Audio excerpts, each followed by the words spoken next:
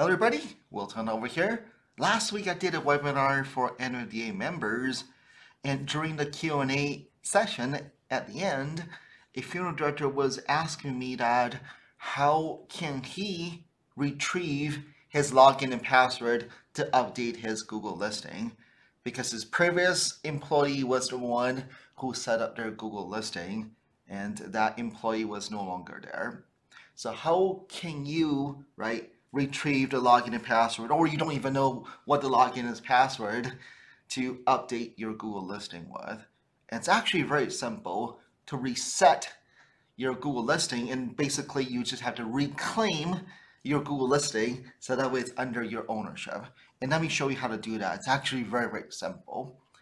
So what you do is you just go on google.com slash business. It's that easy. Google.com forward slash business. Okay. And once you're in there now, of course, you do not know what the login and password is. So of course, you're not going to be signing in. So what you do is you go ahead and click on manage now. And what you do is you type in your business name in here. Okay, I'm just gonna make up. Okay, let's see. Uh, let's say I'm going to be updating this one. I'm totally just making this up, okay? okay. And what you do now is, of course, you click on Manage Now. Okay, I'm not going to do this, okay? And it's going to send you a postcard in the mail. And the postcard would have a PIN number on there. And you just come back in here and punch in the PIN number. And then it will now you basically claimed it. Or let me show you there's another clue to this. Another way to do this is same thing, you type in your business name. Okay, I'm just gonna use crop over here as an example. And it will give you a clue as to who this, right, it will tell you who actually had the rights to this Google listing, who actually was the one who claimed it. So you can guess this.